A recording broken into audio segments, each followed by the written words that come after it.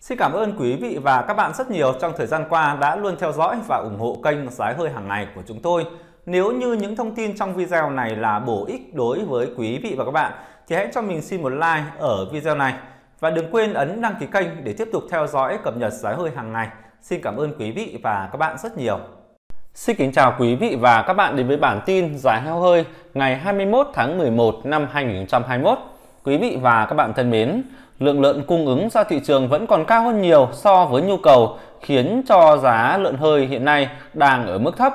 Thậm chí đối với heo mỡ ở nhiều địa phương đã xuống dưới 40.000 đồng trên 1 kg, thậm chí có những tỉnh ở khu vực miền Bắc chỉ dao động trong khoảng 35.000 đồng. Theo ghi nhận trong ngày hôm nay, đối với các tỉnh ở thị trường miền Bắc, dòng heo siêu loại 1 đang phổ biến mức giá 40 cho đến 45.000 đồng trên 1 kg. Một số tỉnh có đàn heo lớn như là Tuyên Quang dao động trong khoảng 40 cho đến 42.000 đồng.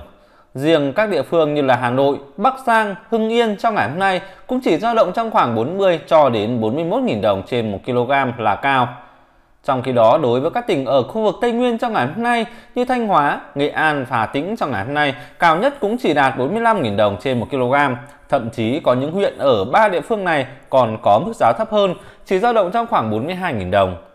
Thị trường miền Nam trong ngày hôm nay giao động trong khoảng 40 cho đến 46.000 đồng. Theo ông Nguyễn Quang Thọ, giám đốc công ty Thi Thọ chuyên thu mua heo của người dân trên địa bàn tỉnh Đồng Nai cho hay, giá hơi trong thời gian qua ở tỉnh Đồng Nai đang xuống khá thấp và hiện nay chỉ giao quanh mức giá 40 cho đến 43.000 đồng trên 1 kg. Với mức giá này, người chăn nuôi đang rơi vào cảnh thua lỗ, đặc biệt là những hộ chăn nuôi nhỏ lẻ, bởi giá thành chăn nuôi hiện nay cao hơn nhiều so với mức giá bán ra. Thông tin từ Hiệp hội chăn nuôi tỉnh Đồng Nai trong ngày hôm nay, lượng heo tiêu thụ tại chợ đầu mối Hóc Môn ở thành phố Hồ Chí Minh khá lớn, khoảng 5.360 con, tăng 1.000 con so với ngày hôm qua. Theo một số đầu mối kinh doanh thịt heo ở đây cho hay, do lượng heo đổ về chợ khá lớn nên chợ tiêu thụ khá chậm so với những ngày đầu tuần. Và heo mỡ trên địa bàn thành phố Hồ Chí Minh và các tỉnh ở khu vực miền Đông Nam Bộ có mức giá khá thấp, nhiều địa phương chỉ dao động trong khoảng 35.000 đồng trên 1 kg. Theo ông Nguyễn Kim Đoán, Phó Chủ tịch Hiệp hội chăn nuôi tỉnh Đồng Nai cho hay, hiện nay lượng cung vẫn cao hơn cầu, rất nhiều khiến cho giá hơi xuống thấp. Trước đây thành phố Hồ Chí Minh tiêu thụ khoảng 6.000 cho đến 7.000 con trên một ngày. Tuy nhiên trong mấy ngày qua chỉ dao động trong khoảng 4.000 cho đến 4.500 con một ngày. Hơn nữa, dịch bệnh vẫn đang tiếp diễn rất phức tạp, lượng heo bán chạy dịch cũng dồn ra thị trường rất nhiều. Trong khi đó, loại heo này giá lại khá thấp, gây ảnh hưởng đến giá hơi ngon ở trên thị trường. Theo lãnh đạo Hiệp hội chăn nuôi tỉnh Đồng Nai cũng cho hay, hiện nay dịch tả lợn châu Phi xuất hiện phức tạp rất nhiều, khiến người chăn nuôi không thể khống chế cũng như là khó quá trình tái đàn. Do đó, các chủ trang trại cần lưu ý đến các biện pháp chăn nuôi an toàn sinh học, giảm thiểu thiệt hại do dịch bệnh gây ra. Tuy nhiên có một nghịch lý là giá thịt lợn tại các chợ dân sinh đến tay người tiêu dùng vẫn đang ở mức cao. Theo ghi nhận trong ngày hôm nay, tại một số quầy trên đường Bùi Văn Ba ở quận 7 thành phố Hồ Chí Minh, giá lợn 90.000 đồng trên 1 kg loại mỡ, thịt không ngon, thịt à, bà dọi nạc vai ở mức 120 cho đến 130.000 đồng trên 1 kg. Trong khi đó, tại cửa hàng Bách Hóa Xanh, thịt ba dọi lên đến 130.000 đồng trên 1 kg, sườn non 160.000 đồng trên 1 kg hay nạc vai 115.000 đồng trên 1 kg. Với giá thịt đến tay người tiêu dùng vẫn còn cao như thế này, nhiều người đánh giá rằng giá lợn hơi phải đạt 60.000 đồng trên 1 kg thì tương xứng với mức giá bán ra. Còn theo Thứ trưởng Bộ Nông nghiệp và Phát triển Nông thôn ông Phùng Đức Tiến nhấn mạnh, thời gian tới Bộ sẽ tiếp tục tăng cường tổ chức kết nối tiêu thụ, hỗ trợ hợp tác xã, tổ hợp tác, trang trại chăn nuôi mở rộng thị trường. Bộ Nông nghiệp cũng sẽ tổ chức hướng dẫn các hộ chăn nuôi sử dụng nguyên liệu thức ăn chăn nuôi có sẵn tại các địa phương để tự phối trộn, giảm giá thành chăn nuôi, đồng thời đưa mô hình chăn nuôi an toàn sinh học, phòng ngừa dịch bệnh, hạn chế rủi ro, giảm chi phí trong ngành chăn nuôi, vị Thứ trưởng cho hay. Còn theo ghi nhận giá hơi trong ngày hôm nay ở nhiều địa phương đang ở mức thấp, có những địa phương đã xuống dưới 40.000 đồng trên 1 kg. Cụ thể, theo ghi nhận tại Hà Nội trong ngày hôm nay, có mức giá giao quanh 38 cho đến 42.000 đồng trên 1 kg. Hưng Yên phổ biến mức giá 40 cho đến 42.000 đồng. Thái Bình giao động mức giá 41 cho đến 43.000 đồng trên 1 kg. Hải Dương phổ biến mức giá 39 cho đến 42.000 đồng. Hà Nam đối với heo tuyển chọn trong ngày hôm nay có mức giá 40 cho đến 44.000 đồng trên 1 kg. Tuy nhiên, đối với dòng heo loại 2, loại 3 có mức giá khá thấp, dao động trong khoảng 38.000 đồng. Quảng Ninh phổ biến mức giá 40 cho đến 43.000 đồng trên 1 kg. Nam Định dao động mức giá 41 cho đến 43.000 đồng, trong khi đó Ninh Bình chỉ giao quanh mức giá 40 cho đến 42.000 đồng. Đối với tỉnh Hòa Bình trong ngày hôm nay, dao động trong khoảng 39 cho đến 42.000 đồng. Hai địa phương là Vĩnh Phúc và Phú Thọ trong ngày hôm nay giao quanh mức giá 40 cho đến 43.000 đồng trên 1 kg. Trong khi đó, đối với tỉnh Thái Nguyên, phổ biến mức giá 37 cho đến 42.000 đồng. Bắc Giang giao động mức giá 38 cho đến 42.000 đồng trên 1 kg. Trong khi đó Quảng Ninh vẫn duy trì mức giá cao 42 cho đến 44.000 đồng. Một số địa phương khác ở khu vực Trung Du như là Tuyên Quang có mức giá 40 cho đến 43.000 đồng.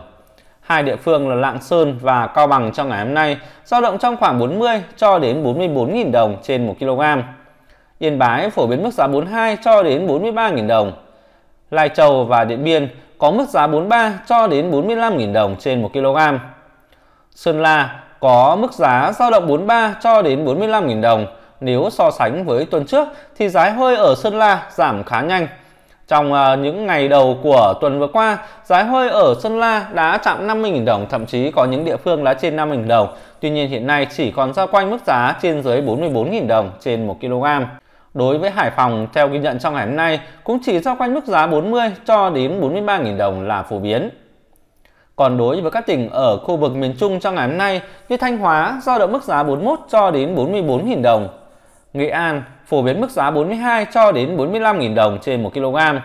Và đặc biệt, một số hộ chăn nuôi báo giá ở các huyện miền núi của tỉnh Nghệ An như là Con Cuông, Quế Phong hay là đối với huyện Quỳ Hợp có mức giá cao hơn, dao động trong khoảng 44 cho đến 45.000 đồng.